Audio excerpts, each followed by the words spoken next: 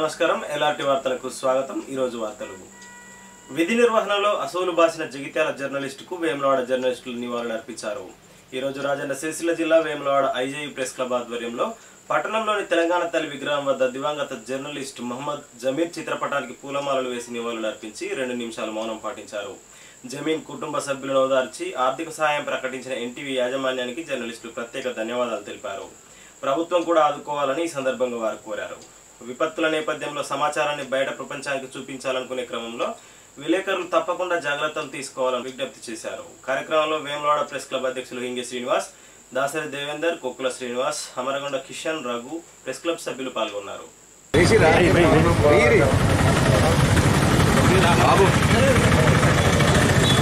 అందరూ అయిపోయారా?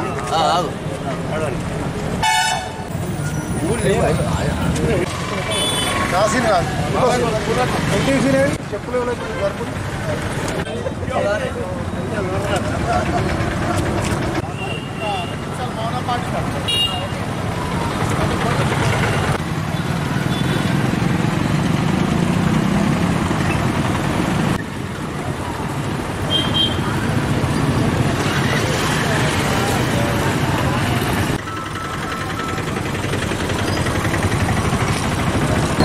నిర్వహణలో భాగంగా కామ్రేడ్ తోటి సహచర జర్నలిస్ట్ మిత్రుడైనటువంటి జగిత్యాల ఎన్టీవీ రిపోర్టర్ జమీర్ గడిచిన వర్షాకాలం నేపథ్యంలో వరదల్లో చిక్కుకున్న వారిని కాపాడే ప్రయత్నంలో ధనవంతిగా వెళ్ళిన క్రమంలో ప్రమాదవశాత్తు అతను వరదల్లో చిక్కుకొని చనిపోవడం జరిగింది. జర్నలిస్ట్ మిత్రునికి ఈరోజు Vemulawada press club Indian journalist union పక్షాన నివాళులు అర్పించడం జరిగింది. ఈ ఎన్టీవీ రిపోర్టర్ మృతి పట్ల యాజమాన్యం కూడా తక్షణమే స్పందించి నగదు సహాయం అందజేయడం ముందుకు వచ్చిన సందర్భంలో ఎన్టీవీ యాజమాన్యానికి మేము ప్రత్యేక ధన్యవాదాలు తెలుపుతున్నాం. ప్రభుత్వం కూడా మా కుటుంబాన్ని ఆదుకోవాలని ఈ సందర్భంగా కొండా లక్ష్మణ్ బాపూజీ విగ్రహ స్థాపన కోసం నేతన చౌక్ వద్ద ధర్నాకు దిగారు పద్మశాలి యువత. కొండా లక్ష్మణ్ బాపూజీ విగ్రహం ఏర్పాటు చేయాలంటూ సిరిసిల్లపట్నం పాత బస్టాండ్ వద్ద గల నేతన్న చౌరస్తాలో ఈ రోజు పద్మశాలి యువత నాయకులు ఆందోళనకు దిగారు. విగ్రహ ఏర్పాటుపై స్పష్టమైన ప్రకటన వెలువరించి విగ్రహ ప్రతిష్టాపనకు కృషి చేయాలని డిమాండ్ చేశారు. ఆచార్య కొండ లక్ష్మణ్ బాబుజీ గారి విగ్రహాన్ని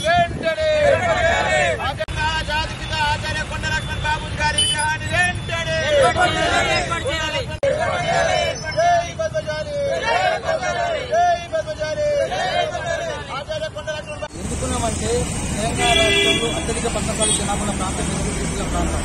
మరి సిరిసిల్ల ప్రాంతంలో పట్టణశాలి జనాభా ఎక్కువ కాబట్టి ఈ పద్మశాలి అస్తిత్వం ఏంటి అంటే గురులక్ష్మి బాబుజీ గారు.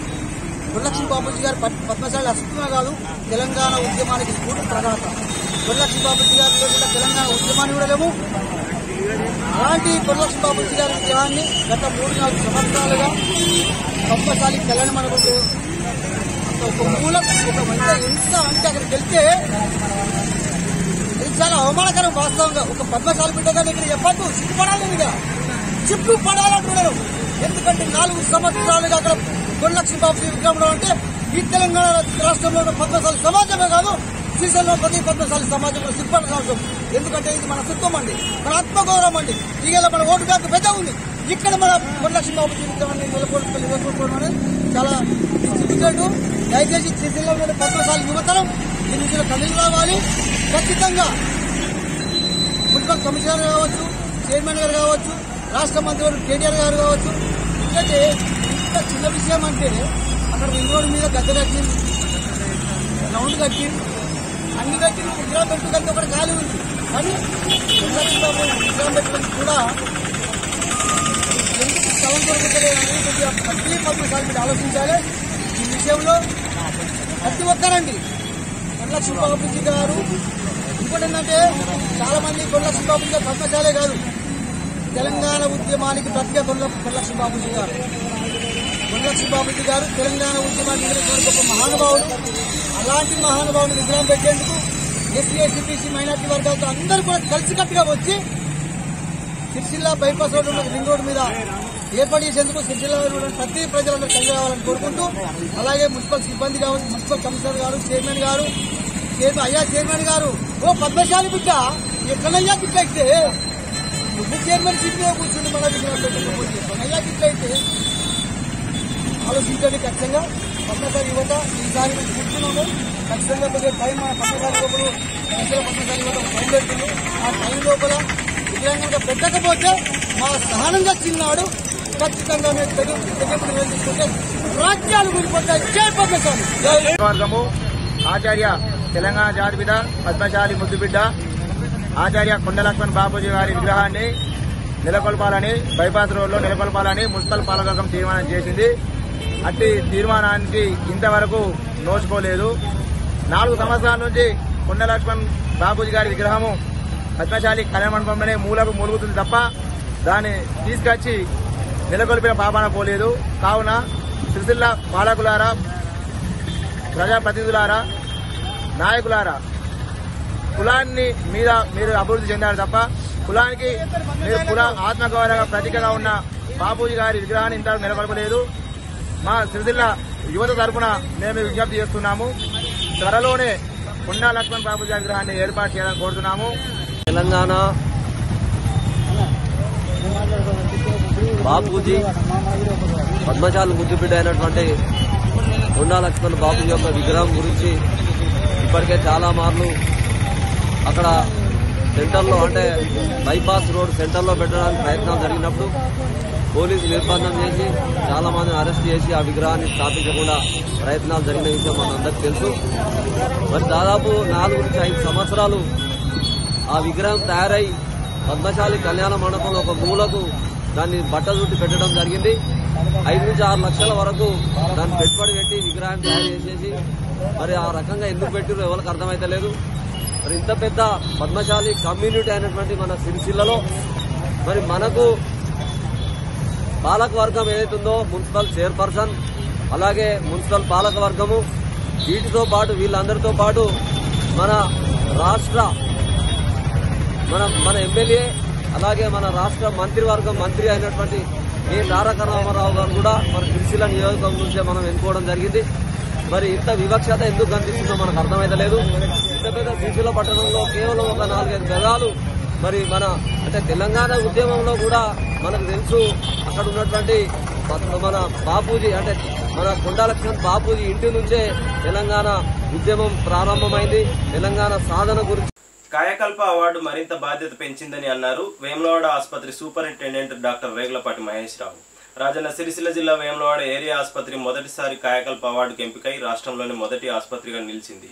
వేములవాడ ప్రాంత ప్రజలకు గత ఏడాదిగా సేవలు అందిస్తున్న తరుణంలో రాష్ట్రంలోనే ప్రతిష్టాత్మకమైన కాయకల్ప అవార్డును ఏడాదిలోపే దక్కించుకోవడం విశేషమని అన్నారు డాక్టర్లు. రాష్ట్రంలో దాదాపు వంద ఏరియా ఆసుపత్రులు ఉండగా మూడంచెల విధానంలో ఈ అవార్డుకు ఎంపిక చేస్తారు. వంద మార్కులకు గాను వేములవాడ ఏరియా ఆసుపత్రి ఎనభై తొమ్మిది పాయింట్ పద్నాలుగు మార్కులు సాధించి రాష్ట్రంలోని మొదటి స్థానంలో నిలిచిందని తెలిపారు.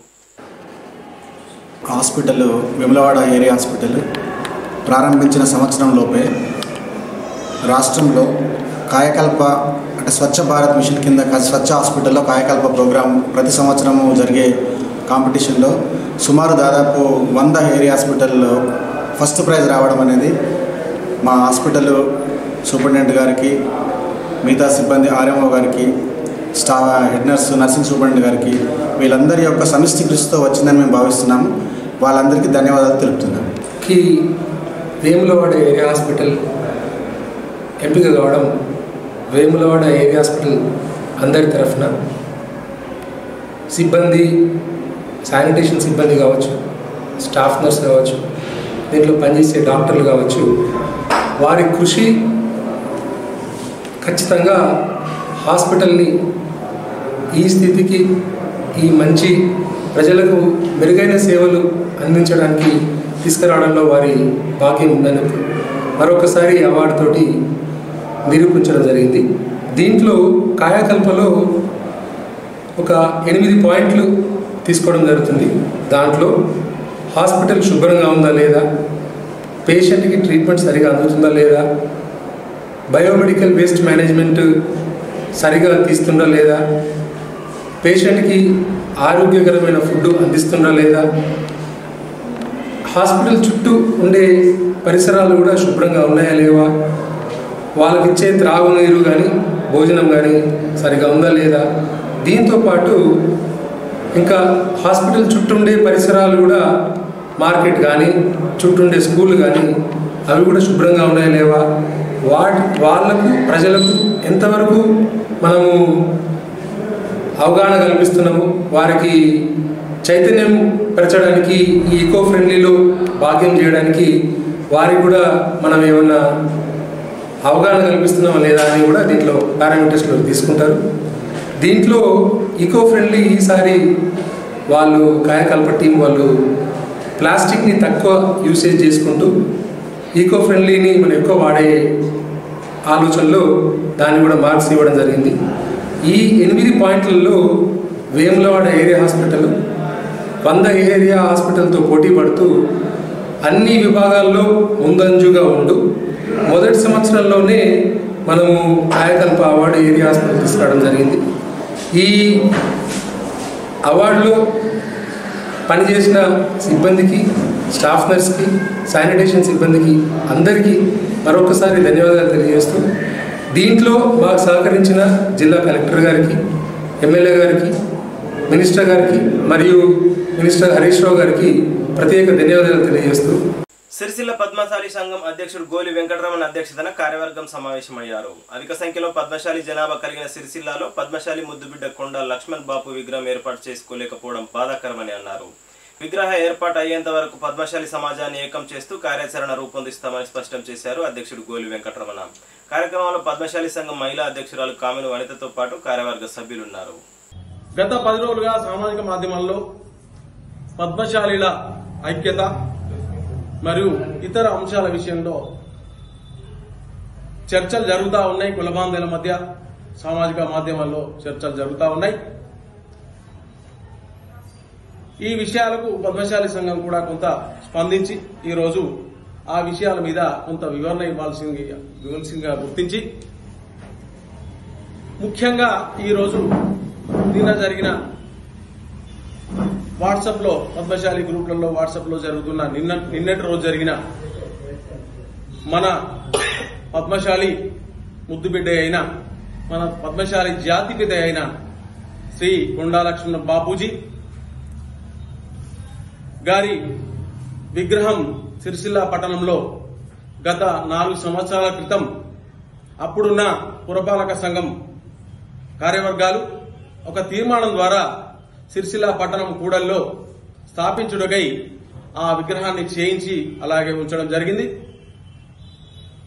అప్పటి నుంచి గత నాలుగు సంవత్సరాల నుంచి ఆ విగ్రహం మనం స్థానిక సిరిసిల్ల పట్టణం చెందిన మానేరు బ్రిడ్జి దగ్గర ఉన్న కూడల్లో అది స్థాపించడానికి మన పద్మశాలి పెద్దలు పద్మశాలి ప్రజాప్రతినిధులు.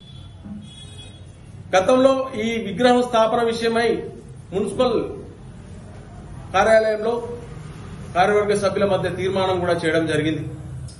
కానీ ఎందువల్లనో తెలియదు మన ప్రభుత్వ అధికారులు మనం ఆ విగ్రహాన్ని స్థాపించడానికి అనుమతులు ఇవ్వకపోవడం స్థాపించకుండా మనకు అనుమతులు ఇవ్వకపోవడం అనేది శోచనీయం. ఇవాళ తెలంగాణ రాష్ట్రం మొత్తంలో సిరిసిల్ల ప్రాంతంలో పద్మశాలీల సంఖ్య సిరిసిల్ల జిల్లాలో మరియు సిరిసిల్ల పట్టణంలో అత్యధిక జనా జనాభా ఉన్న ప్రాంతం సిరిసిల్ల. ఇంత పద్మశాలి జనాభా ఉన్న ప్రాంతంలో పద్మశాలి నాయకుడైన మరియు తెలంగాణ నాయకుడైన తెలంగాణ పోరాట యోధుడైన శ్రీ కొండా లక్ష్మణ బాపూజీ విగ్రహం స్థాపించడం కొరకై చేసిన ప్రయత్నాలు విఫలం కావడం అట్లాంటి అవకాశం మా పద్మశాలికి ఇప్పటి వరకు కూడా దక్కకపోవడం శోచనీయంగా భావిస్తా ఉన్నాం. దయచేసి ఈరోజు ఇప్పుడు ఈరోజు జరుగుతున్న కొంతమంది యువత పద్మశాలి యువకులు ఈరోజు స్థానిక నేతన్న విగ్రహం వద్ద ఈ విషయాన్ని తీసుకుని నేతన్న కొండాలక్ష్మణ బాబూజీ విగ్రహం స్థాపించడానికి దయచేసి ఈరోజు ఇప్పుడు ఈరోజు జరుగుతున్న కొంతమంది యువత పద్మశాలి యువకులు ఈరోజు స్థానిక నేతన్న విగ్రహం వద్ద ఈ విషయాన్ని తీసుకుని నేతన్న కొండాలక్ష్మణ బాబూజీ విగ్రహం స్థాపించడానికి ఈరోజు వారు ఒక కార్యాచరణ ఏర్పాటు చేసుకుని ధర్నా కార్యక్రమం స్థానిక పాత బస్టాండ్ నేతన్న విగ్రహం వద్ద ధర్నా చేసినట్టుగా మాకు తెలిసింది. వాళ్ళను కూడా దయచేసి అందరినీ కోరుతా ఉన్నాం. మనం మొదటి మొదటి నుంచి కోరుకున్నది ఒకటే పద్మశాలీల ఐక్యత. మనం ఏది చేయాలన్నా మనం అందరం కలిసి ఐక్యంగా ఏది కావాలన్నా ఏది చేయాలన్నా సాధించడానికి అవకాశం ఉంటుంది. కావున మీరు చేసే కార్యక్రమానికి మా సహకారం ఉంటుంది. అది మన పద్మశాలి సంఘం ద్వారా ఆ కార్యక్రమాన్ని చేద్దాం. మనం ఇప్పటి నుంచి మన వారి అందరితో మరొక సమావేశం ఏర్పాటు చేసుకుని మనం తదుపరి కార్యాచరణ ద్వారా కొండాలక్ష్మణ బాపూజీ విగ్రహం స్థాపించే వరకు తదుపరి కార్యాచరణ ఉంటుంది. అది ఏ విధంగా చేస్తే బాగుంటుందని మనం అందరం మన అందరి పెద్ద మనుషులతో లేకుంటే మిగతా అందరి కురబాంధవులు అందరితోని మరొక సమావేశం ఏర్పాటు చేసుకుని ఆ విధంగా ఆ కార్యాచరణ ముందుకు తీసుకెళ్తామని పద్మశాలి సంఘం పక్షాన యావత్ సిరిసిల్ల ప్రజల పక్షాన కూడా కోరుతా ఉన్నాం. జై మార్కండేయ జై పద్మశాలి. రాజన్న ఆలయ ఉద్యోగుల సంఘం పూర్తి స్థాయి కార్యవర్గం ఈ రోజు ఎన్నుకున్నారు. నేడు రాజన్న ఆలయ ఉద్యోగుల సంఘం కార్యాలయంలో ఉద్యోగుల సంఘం పూర్తి స్థాయి కార్యవర్గాన్ని టీఎన్జీఓ రాష్ట్ర కార్యవర్గ సభ్యులు ఉపాధ్యాయుల చంద్రశేఖర్ రాజన్న ఆలయ ఉద్యోగుల సంఘం అధ్యక్షుడు సంఖ్యపల్లి హరికిషన్తో పాటు గౌరవ అధ్యక్షుడు సిరిగిరి శ్రీరాముల ఆధ్వర్యంలో ఏర్పాటు చేశారు. రాజన్న ఆలయ ఉద్యోగుల సంఘం అధ్యక్షులుగా సంఖ్యపల్లి హరికిషన్ కార్యదర్శిగా కూరగాయల శ్రీనివాస్ క్యాషియర్గా సిహెచ్ రాజేశ్వర్ గౌరవ అధ్యక్షులుగా సిరిగిరి శ్రీరాములు గౌరవ సలహాదారులుగా టి రాజేష్ ఐ జయకుమారి ఉపాధ్యక్షులుగా తాండ్ర రామేశ్వర్ రావు చంద్రగిరి శరత్ శర్మ వి శ్యామ్ సంయుక్త కార్యదర్శిగా CH Pujitha Vasalamarri Gopi P Laxman organizing సెక్రటరీగా నాగుల మహేష్ ప్రచార కార్యదర్శిగా ఎడ్ల శివ మిగతా సభ్యులను కార్యవర్గ సభ్యులుగా ఎన్నుకున్నారు శ్రీ భద్రమ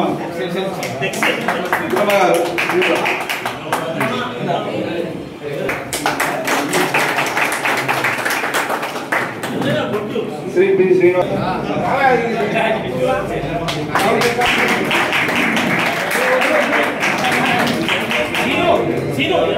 ఒక్క నిమిషం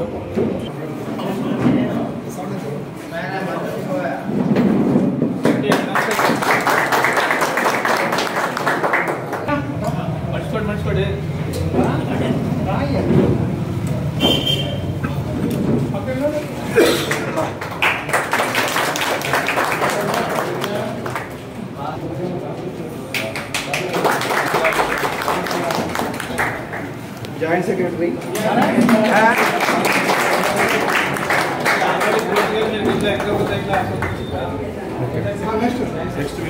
joint secretary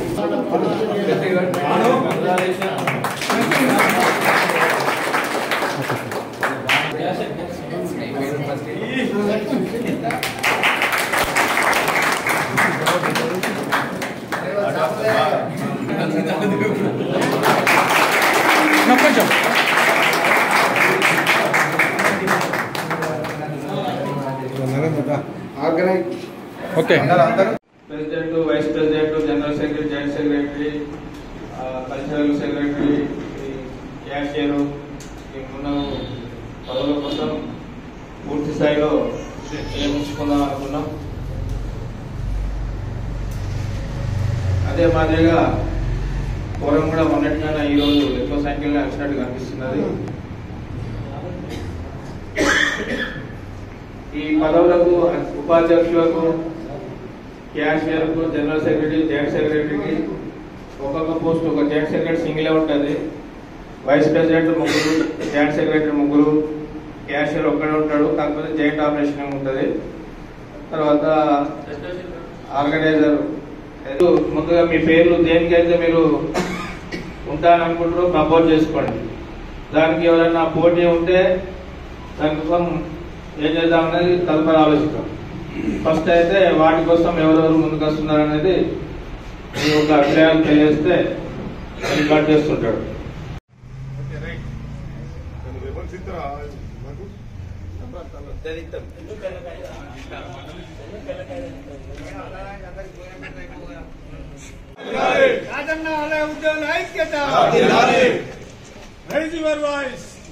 ఈ వార్తలు ఇంతటితో సమాప్తం. తిరిగి ప్రసారమై ఎల్ఆర్టీ న్యూస్ మళ్ళీ కలుసుకుందాం. అంతవరకు సెలవు. నమస్కారం.